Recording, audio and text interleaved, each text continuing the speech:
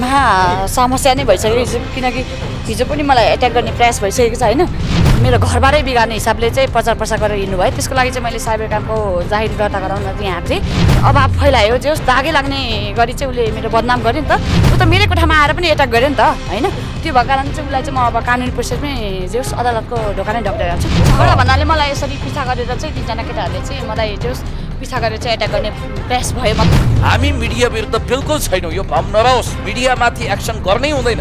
श्रीमान श्रीमतीको घर झगडा आन्तरिक मामिला हो। त्यो परालको आगो। आज आगो छ भोलि पानी हुन्छ। म त उहाँको डिभोर्स नहोस्। उहाँको पारिवारिक मिलन होस्। उहाँहरूको काँचको चुरा जस्तो हाँडी फुटे जस्तो सम्बन्ध नफुटोस् भनेर पो आएको। हो प्रमाणहरू त मलाई होइन नि त। अदालतलाई पेस गर्नु पऱ्यो नि त। मलाई देखाएर त भयो नि त। बोलेर भयो नि त। बोली प्रमाण हुँदैन क्या? कागज प्रमाण हुनु पऱ्यो क्या? मलाई चाहिँ मेन कुरा न्यायालयले भनेको बोलेर प्रमाण पुग्दैन क्या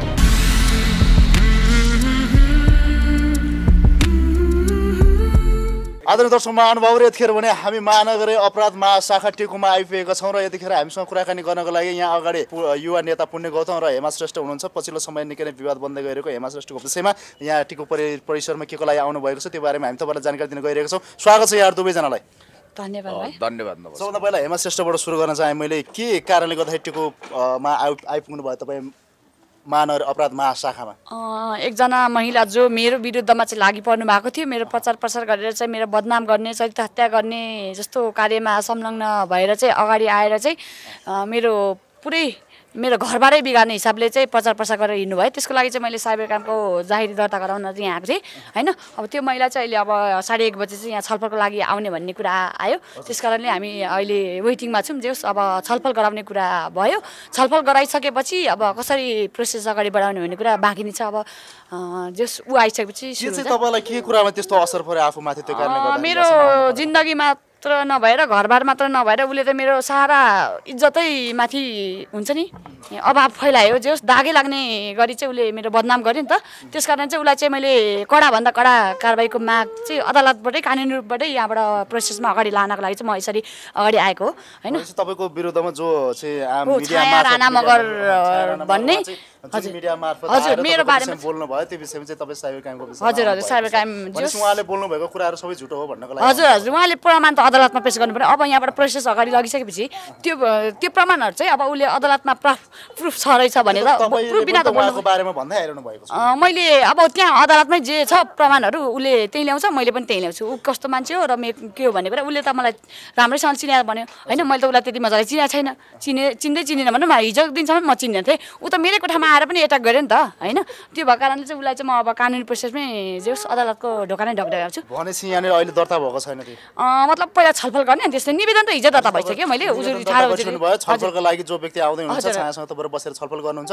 छलफल मार्फत टुङ्ग्यो भनेदेखि त्यसमा सहमति भइहाल्यो भएन भने। फेरि त्योभन्दा अगाडि कारवाहीको प्रोसेसै अगाडि बढ्छ किनकि उसलाई कानुनी दायराबाटै म अगाडि लैजान्छु। पुण्यजी के भन्न चाहनुहुन्छ यो विषय अ, हिजो कतिपय मिडियाका साथीहरू बेलुका नै आउनु हो।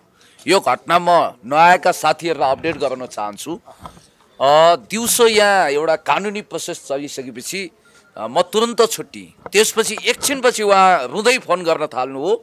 पुण्य गौतम दाई मलाई यहाँ एकदम असुरक्षा भयो ढुङ्गा प्रहार भयो। मेरो बच्चालाई कसो कसो लागेन बाल बाल बची। के गर्ने भन्नुभयो? मैले तपाईँ जहाँ हुनुहुन्छ त्यहाँ लुकिहाल्नुहोस्। बाँकी सेक्युरिटी दिने कुरामा हामी उ गर्छौँ। हिजो हजुर। मलाई झगडा भन्नाले मलाई यसरी पिछा गरेर चाहिँ तिनजना केटाहरूले चाहिँ मलाई जे होस् पिछा गरेर चाहिँ एट्याक गर्ने प्रयास भयो। मतलब जाँदा जाँदै बाटो भन्छ त्रिपेश्वर जाने बाटोमा बाटोमा जाँदा जाँदा अनि त्यसपछिको घटना म भन्छु र उहाँ यता लाजिमपाट कता कता गएर लुक्नु पनि भयो। र बेलुका एकैचोटि घर पुग्नुभयो। पुगिसकेपछि अब हिजोको अवस्था त एकदमै बिजोग थियो। उहाँको अब कोठामा खाने चामल पनि छैन। उहाँलाई बिहान बेलुका ताउलोमा जाउलो पकाउने बन्दोबस्त छैन यता केटाकेटीको यति बिजोग छ। म आफै पनि ज्वरो आइरहेको छ अहिले दबाई खाएर आएको छु। उहाँले भनेर मात्रै यहाँ आएको नत्र म उठ्न सक्ने अवस्थामा थिइनँ। सिटामल खाएर यो घाँटी पनि उ भएको छ। उहाँ खुद बिरामी हुनुहुन्छ। मेरो एउटा भाइटिका लगाउने योग्य बहिनी हुनुहुन्छ उहाँ।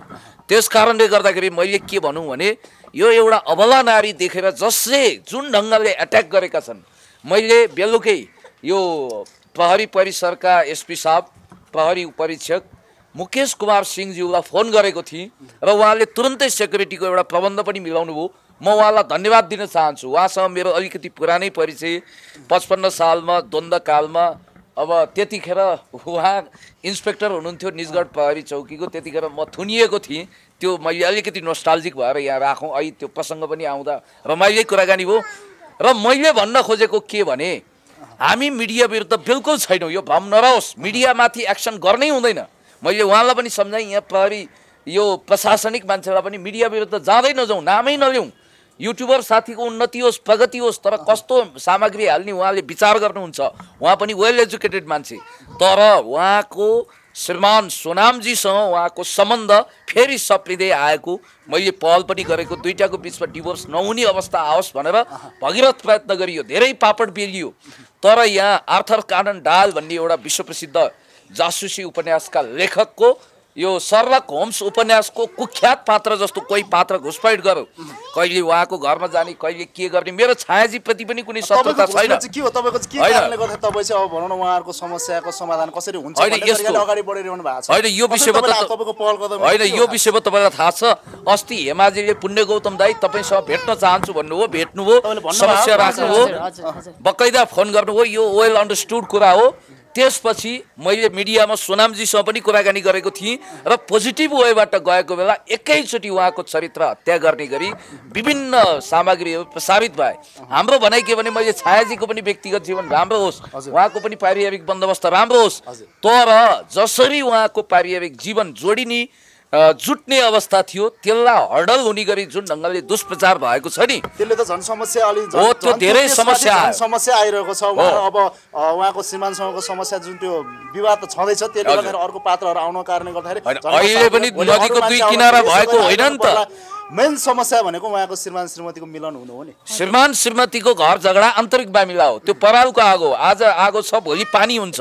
दुईजनाको बिचमा रस्यान चलाएर मुखमा छिटा पार्नु जरुरी छैन। आङ कनाएर साह्रो टकटकाउनु हुँदैन।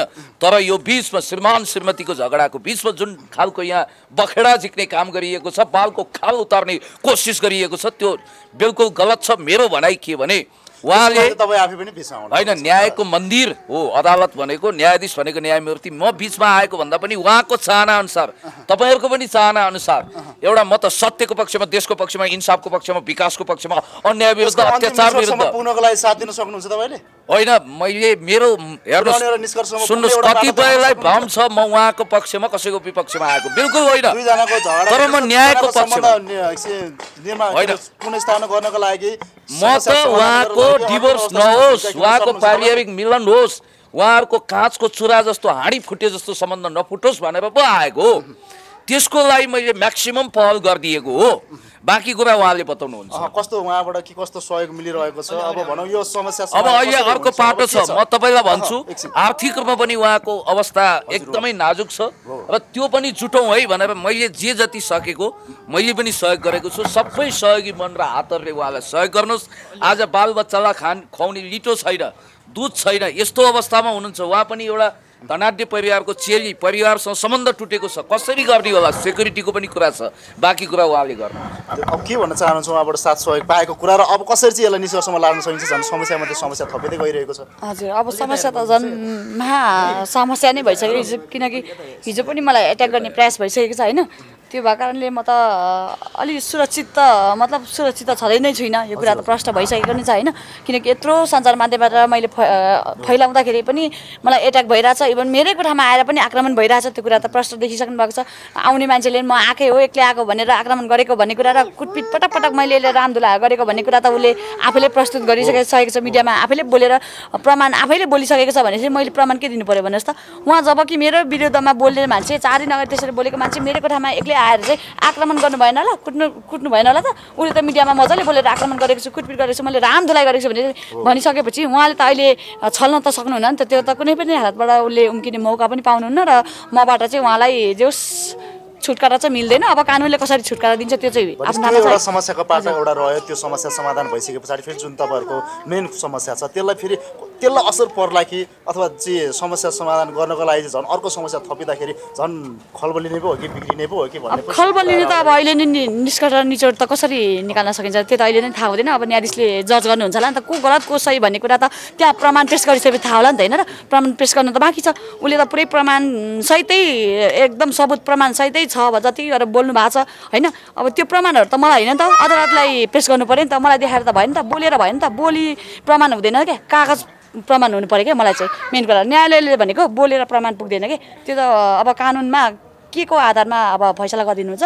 उहाँले प्रमाण ल्याउनु सक्नु पऱ्यो त्यही हो मेरो माग चाहिँ। हुन्छ। प्रमाण सहित आएर चाहिँ मेरो? हाम्रो चाहना भनेको तपाईँहरूको जति पनि समस्या छ त्यो समस्या समाधान होस् राम्रो होस् भन्ने कामना नै हो। हजुर। र यद्यपि यो विषयसँग सम्बन्धित रहेर आवश्यक परेको खण्डमा हामी जोडिने रहनेछौँ। कुनै चाहिँ अन्तिम केही भन्न चाहन्छु अ, तपाईँहरूलाई धेरै धेरै धन्यवाद छ। मिडियाको गुड कोअपरेसनको कारण। तपाईँहरूले जहिले पनि निरीह मान्छेहरूको पक्षमा आवाजलाई बुलन्द गर्नुभएको छ र तपाईँहरूको यो सत् प्रयासलाई म कोटी कोटी नमन गर्न चाहन्छु धन्यवाद भन्न चाहन्छु।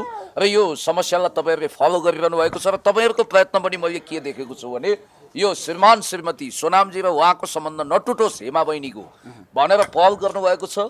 म पुण्य गौतम लगायत सबै साथीहरूको यसमा पहल होस् म यही भन्न चाहन्छु र तपाईँहरूलाई धेरै धेरै धन्यवाद दिन चाहन्छु।